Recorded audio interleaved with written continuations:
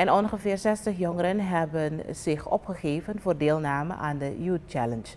De eerste workshop is vanmorgen gehouden in het Lalaroek gebouw.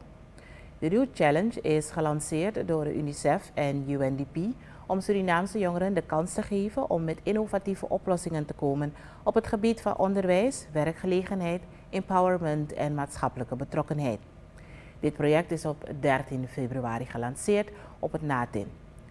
De trainer van deze workshop, Esperanza Boduits, sprak over het belang van onderwijs en inspireerde de deelnemers om projecten te schrijven over dit thema. De NATIN-student Damindo Plein haalde een probleem aan waarvoor er ook een oplossing gezocht moet worden.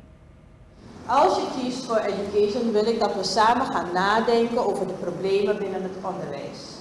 En hoe kunnen we aan oplossingen denken. Ik hoorde net al dat een paar mensen graag verder willen denken over onderwijs. Um, de vorige competitie van UNICEF zijn er meer dan 800 jongeren geholpen binnen 18 landen om een, uh, met een solution te komen met over een probleem dat zij zelf hebben geïdentificeerd. Uh, ik denk dat we op de terug moet zetten door de attitude of de manier waarop docenten uh, um, de manier waarop docenten uh, kinderen behandelen. En ik vind dat dat moet veranderen. Um, waarom zeg ik dat?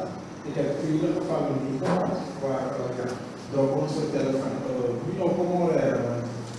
Als sta je voor kleuren op waar je niet al zo aan. Bepaalde docenten, niet allemaal, bepaalde docenten hebben er een soort van gedrag. De de laag is, je kan niet zien. Ondanks je geleden wordt er toch niet naar geluisterd. Trainer Boduits gaf de deelnemers mee dat wanneer zij een projectvoorstel willen doen over onderwijs, ze naar zaken moeten kijken die er nog niet zijn voor studenten. Ze haalden enkele voorbeelden aan.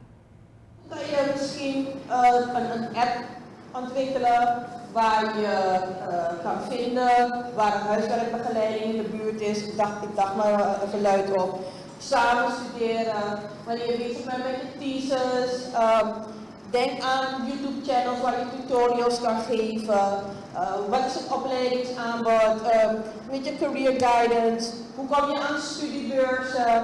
Er een pop-up, zeg maar als je aangemeld bent bij een bepaalde organisatie, dat je updates krijgt, zo'n soort nieuwsbrief van hé, hey, er is de deadline van de studiebeurs is dan en dan. het creëren van awareness workshops, dat jij zelf een awareness workshop brengt. Um, nou, er zijn een heleboel dingen waar we over kunnen praten als jullie dus kiezen voor mijn straks, education. Esperanza Boduits, een van de trainers bij de eerste workshop van de Youth Challenge. Deze challenge is gelanceerd door UNICEF en UNDP, een project waarbij jongeren van 14 tot en met 24 jaar met oplossingen kunnen komen voor problemen in hun leefomgeving.